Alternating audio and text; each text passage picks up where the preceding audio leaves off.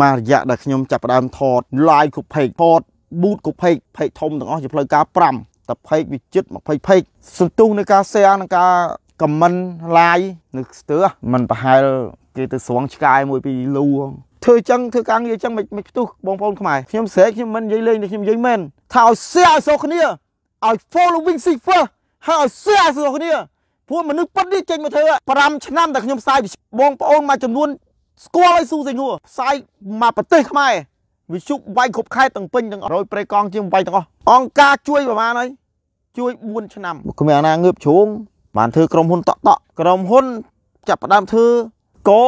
ទីផ្សាររងថ្ងៃនេះលក់ធូរបំផុតហើយថែមកកប់មេឃដែរហើយគ្រាន់តែឲ្យ share ឲ្យ set following safer ឲ្យ share ប៉ុណ្ណឹងក៏យ៉ាប់ឲ្យយ៉ាប់ដែរសបោតអ្នកចុចមើលចោលហើយអត់អត់អត់ share កុំគិតថាវាជាពាណិជ្ជកម្ម ឲ្យតែគំនិតគិតថាអានឹងពាណិជ្ជកម្មអញមិន share ទេខុសហើយបើគោលដៅខ្ញុំលក់កើបលុយខ្ញុំបែកបងប្អូន share ទេដឹងតែប៊ូតយកប៊ូតយកប៊ូតយកតែលក់ឲ្យថ្លៃហើយផ្សាយឲ្យធំវាចប់រឿងហើយ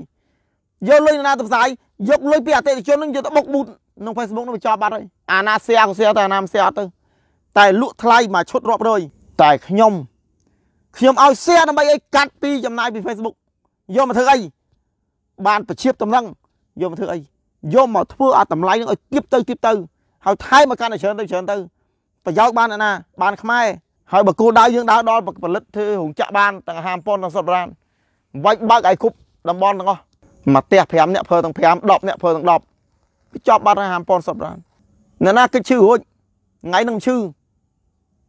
4 5ឆ្នាំក្រោយឈឺយើងមិនឈឺឪម៉ែយើងឈឺអ៊ំពូមីងមាយើងឈឺមិនលុយមិនអស់លុយ